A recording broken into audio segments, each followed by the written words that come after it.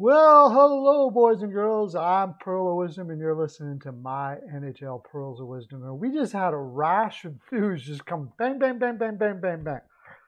It's uh, Tuesday, the, I don't know what day it is, 27th. I don't pay attention to dates and times. I'm too focused on hockey. I don't even know what day it is. Uh, we just had a rash of news just go bang, bang, bang, bang, bang. It's 11 o'clock Mountain Time. And I'm going to go just fly with it, talk about it. I'm not preparing the video or anything like that. Blah, blah, blah, blah. Do you know how many time videos people actually take to get it all perfect and everything like that? Too much time for me. Yep. I need naps, man. Okay, at the end of this video, we're going to do a little Perlo dance.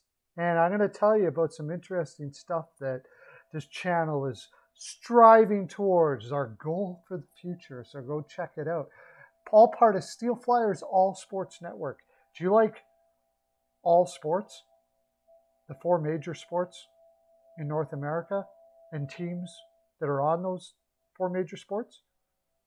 Then you'll like the website, Steel Flyers, www.steelflyers.com com. We are growing and looking for content creators as well. So if you want to be one, put your comment down in the comment section and we'll see what we can do. Maybe you're the next uh, football commentator or baseball blogger or whatever for Steel Flyers All Sports Network, making a little money. Make a little money. All right, NHL Pearl of Wisdom show. Uh, it will be on tonight at uh, from 7:30 to 9:30 Tuesday the 27th from 7:30 to 9:30 Eastern. Come check us out. Interactive fun you'll enjoy it. Okay we got to get out there's so much news. This video is going to be forever if I don't get on it right away. Okay. First of all let me hit the window capture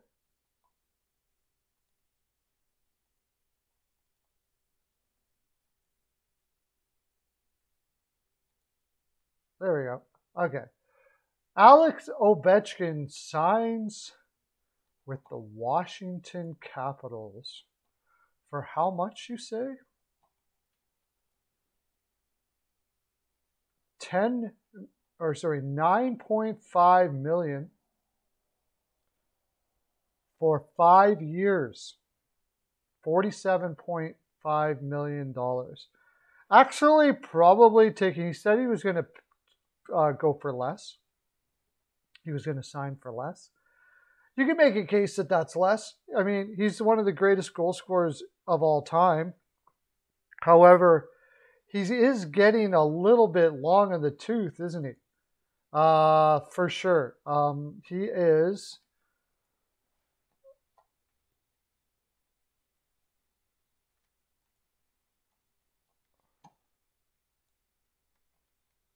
Going to look it up at Cap Friendly, but this is a lot of for only five years is maybe not too bad. The guy is a beast.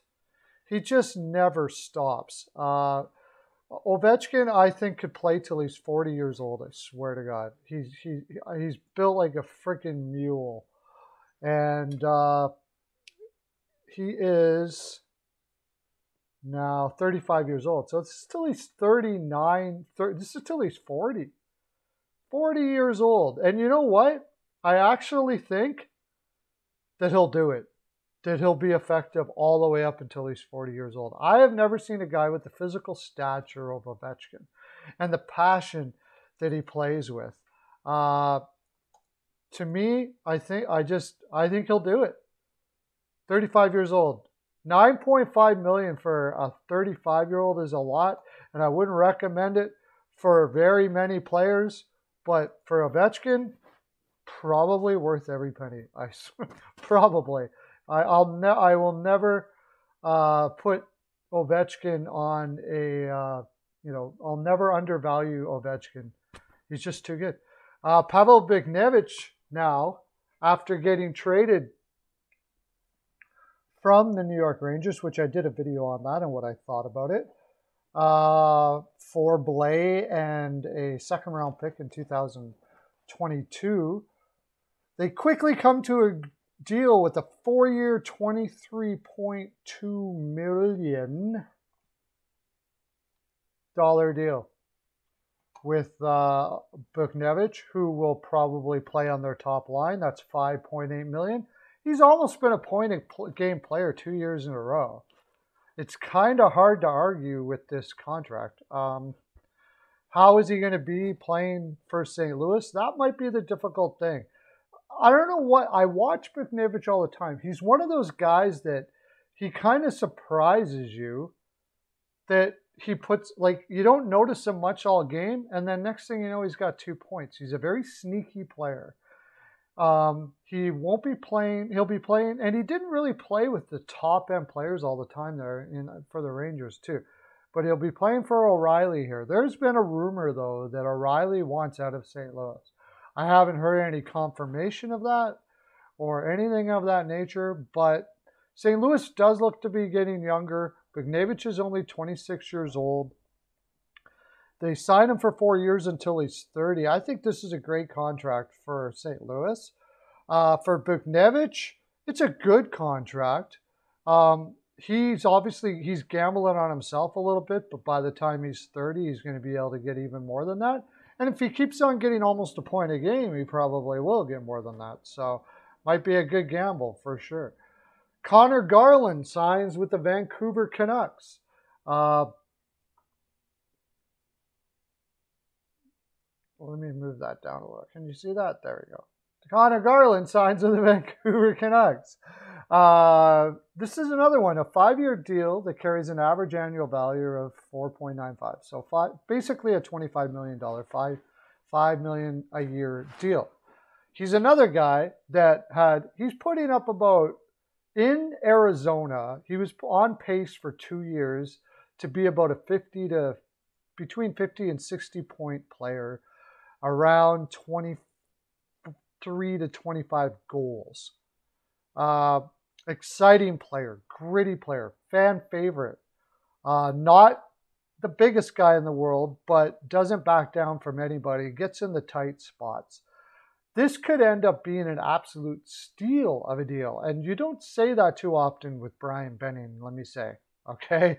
Uh, this is a guy who signed uh, Roussel and Beagle about years ago for not much less than this for $3.5 million. He's made, he's did some bad contracts. This one could actually end up being really, really good. Conor Garland didn't have much to play with in Arizona. Now he's going to have an opportunity to play with the likes of Pettersson or Boeser or Horvat. Uh, he could post up 60 to 70 points. I think it's possible with that kind of talent. That $5 million deal looks good right away. And if he keeps that up, it looks extremely good five years from now. So I say that's a good deal for Vancouver. Uh, uh, I'm sure Garland's happy. He was a late bloomer.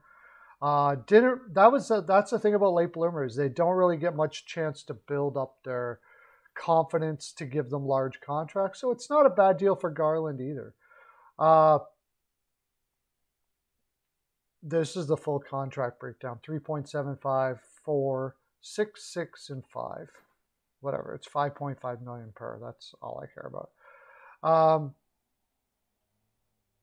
I think it's an excellent contract. So Edmonton Oilers to buy out James Neal. This is no surprise. Uh, I think they were trying to get somebody to to do a retainment thing, a majigger, but uh, there was nobody out there that was even willing to do that, and they would have to give up assets.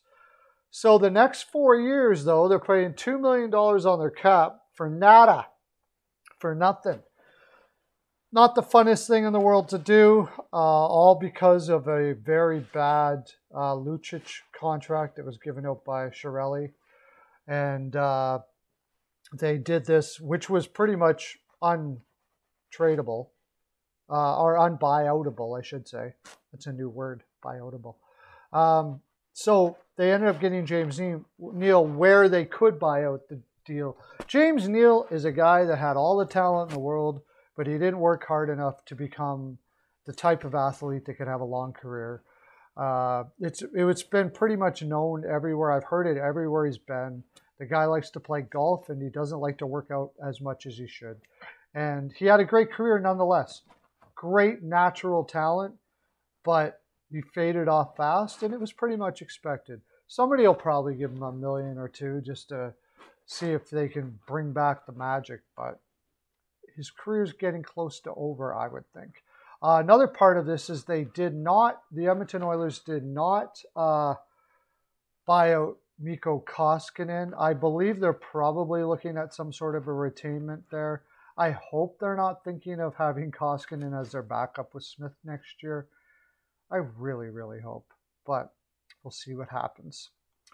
San Jose Sharks to buy out uh, Martin Jones, and this one hurts. Retaining um two almost two million, 2.5 million, almost three million in 2023-24, then a million and a half, million and a half, all the way up to 2027. You know you're a bad goaltender when a team is willing to take that much of a cap hit for the next five years to buy you out. He like 8.96 he had last year. I don't think he's I don't think he's had a, a 0.900 or better for quite a while. Uh, he has just been awful and was I would have bought him out too. You really had no choice but to buy him out. So they do get a little bit extra cap space there in San Jose. We'll see what they do with it. One of the most interesting teams to figure out if they're actually ever going to do a rebuild, if possible, or if they're going to try to get better. With an extra $4 million this year, they might be able to pull out another winger. They are in a weak division. You never know. I think they actually probably could uh, make the playoffs next year, to tell you the honest truth. If they could get, actually, they need defensemen more than wingers. So we'll see what they do with that. Uh, the other question, of course, is they are going to need another goaltender now, San Jose is. Uh, they don't have one in the wings ready. They did trade for Adin Hill, but Adin Hill is not a guy that you would want to be a number one. So I think San Jose will use probably a good chunk of that buyout to find themselves a goaltender. If Carolina does not sign Bernier, he might be able to save you. He was absolutely lights out for Detroit the last couple of years. And San Jose does have a better team than Detroit did. If they could give him, he could maybe bring you to the at least the playoffs. So I would consider that, Mister uh, Wilson. I know you're listening out there. Because why wouldn't you be, right? So now you know. Go get Bernier. Off with it. There you go. Okay, Chicago. Now the big one. Big trade. Big trade Rudy. Chicago Blackhawks to acquire Marc Andre Fleury. This is done. Chicago Blackhawks do acquire Marc Andre Fleury. wow. The Chicago Blackhawks go get Jones and Marc Andre Fleury.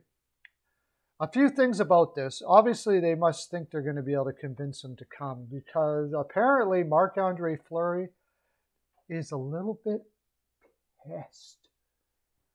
Or at the very least, he does he's strongly considering retiring instead of going to Chicago for family reasons. He doesn't want to move his family again from Vegas. They've gone through they they moved from Pittsburgh to Vegas. Uh, he's older now. He's getting close to retirement. Uh, does it make much sense to move your family all over to Chicago? Really? Uh, so he might end up having to play in Chicago while his family's in Vegas. He has to hash this all out. But the fact of the matter is, if he does decide to play in Chicago, it looks like they're going for it next year. That's the big story here for me. They they go get Jones, sign him for nine point five million. They give up Boqvist and uh, what was it? Was it a first round pick? Yeah, like a whole crapload of uh, assets that you use when you're rebuilding. Wasn't it just last year they said they were rebuilding? and now they're just going out and grabbing Marc Andre Fleury and Jones. Uh, I'm not sure how much cap space they have here, but I don't think it's like crazy amounts. They might have enough room for one more player. I don't see how they're contenders here. Toews is back, yeah. Uh, their defense with Jones, Jones is going to save their defense there. They still don't have the most solid defense that I've ever seen. However, the Bowmans are geniuses. Okay, I, I last year when they trade let uh, Crawford go, I was like, well, they have no goaltending; they're going to be absolutely poop, and they almost made the playoffs because the Lankinen was there that nobody saw happening. What happens with Lankinen now? So I guess I mean that kind of goaltending can bring most teams to the playoffs, but is that all you want? Do you really think you're a cup contender here? Very odd stuff indeed. I imagine Chicago somehow is not done, and they'll be grabbing more, uh, grabbing some more players. I would think to fill out that roster because I think they're a little too green, and their veterans are a little too old to really have make a play for uh, a Stanley Cup this year. Uh, Vancouver Canucks expected to buy out Braden Holtby. Uh, this was no surprise, and when they signed this deal with Holtby. I was one of the I was one of the people. I don't know if there were other people that was really iffy about it because what I saw in Washington, I saw a, Hol- a that was really kind of a pain in the ass on the ice. He would call out his teammates. He acted kind of like what appeared to me like an arrogant jerk. And I saw it in Vancouver too. And I don't know how they didn't see that. Not kind of wouldn't be the goaltender I would most be looking forward to bring up a guy like Thatcher Demko, although it didn't look like it hurt him at all. Um, anyways, they buy him out now, and I think those might be part of the reasons why. Also, the fact that he didn't play well in goal either. So, um, at the end of his tenure in Washington, he wasn't playing well, better in goal. Now he's going to be losing a little bit off his contract. I think if he gets a 1.9 year contract, he doesn't lose any money. 1.9 mil a year. I think he'll get a one a one year contract, and he'll want 1.9 mil a year. I don't know which team is going to do something like that. Maybe the aforementioned San Jose Sharks. I hope not San Jose, because you're just going from one fire to another. I think. Okay, uh, Minnesota. Okay, that didn't want that. There was one more I wanted to look at here. Brenden Dillon dealt to the Winnipeg Jets for two second rounders in 2022 and 2023.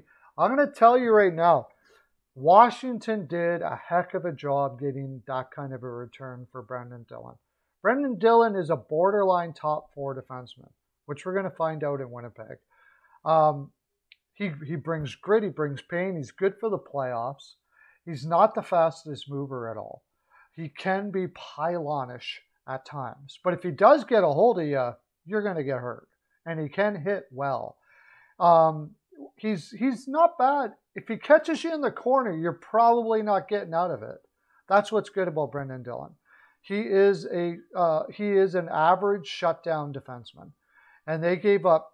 Doesn't sound like much two second round picks, but those second round picks in 22 and 23 are going to be, especially the 23 pick, are going to be very, very valuable. As we get closer to the 20, 2023 draft, there'll be less and less people giving up those second round picks. That was a second round pick in 2023 is might even be better than a first round pick in the like 15 or later in this year's draft. In fact, I will say it will be better. So it'd be like getting a first round pick in this draft. 2022, not as good as 223, but not bad. I think they gave up a lot. However, I'm going to give Winnipeg a little bit of uh, slack here because it's hard to get players to go to Winnipeg. And if, if they find a player that says, yes, I want, I'll, I'll go to Winnipeg, I want to be there, I'll sign you up there because he's only got one year left at four million there's no way Winnipeg does this if they don't have a contract in their back pocket. If they did do this and they don't have a back po- contract in their back pocket, because Dillon will be a free agent, this is a horrible deal. Horrible deal. If they do have one in their back contract, I get it. Unfortunately, teams like Edmonton, uh, Winnipeg, and there's some few other teams in the league they got to pay a little more because of where they are located on the planet. And uh, I think that's whatever what happened here. Anyways, that's my full 42, boys and girls. Uh, thanks, thanks for subscribing and hitting the bell. Uh, if you want to continue to the frolic, we're about to do a little Perlo dance here, and I'm going to tell you a few things. If not, off with you. Thanks for the sub and hitting the like button. That helps out the channel a lot. Okay, for the rest of you, oh, wait, wait, wait, I gotta go. Okay, for the rest of you, Perlo dance. David Bowie, by the way, one of the finest, greatest musicians, songwriters of all time. I say, um, oh, you a little more Perlo dance? Sorry about that. Hockey News reports there. He's part of, he comes on my show all the time. There we go. Is that enough Perlo dance for you? CL and all the gang, Ted. Okay, good. So what we're doing here is we are going to grow this channel and we are going, I'm going to come out to all the lands as part of the Steel Flyers All Sports Network. I want to go, I'm, this is my vision and future. It's my bucket list. It's a, it's the list. It's the only thing on the bucket list. I'm going to come out to wherever you guys are. We're going to go, to, I'm going to go to every arena in the NHL. And I'm going to take all, whoever wants to come whenever I show up. You want to come? You come. And we're going to go to games together. Going to get ourselves a Jet O Frolic too. And you can come to all of them. That's, that's going to happen. Um, starts with subs, telling people about this fine programming, the Steel Flyers All Sports Network, and the NHL Pearls of Wisdom show. Also throw in there off the wall John. He's fantastic. If you don't want, if you don't, if you're not sub to him, uh, JJ Borick, uh, Peyton on the radio, Lance from Hockey Writers Inc. Check him out. All of those guys. Be part of this. Come and be part of this community, and we're going to do amazing things. Amazing. It's going to be awesome. So get as many people as you can to sub up there. Let's Perlo dance ourselves out of here. Frolic in the land. Okay, bye.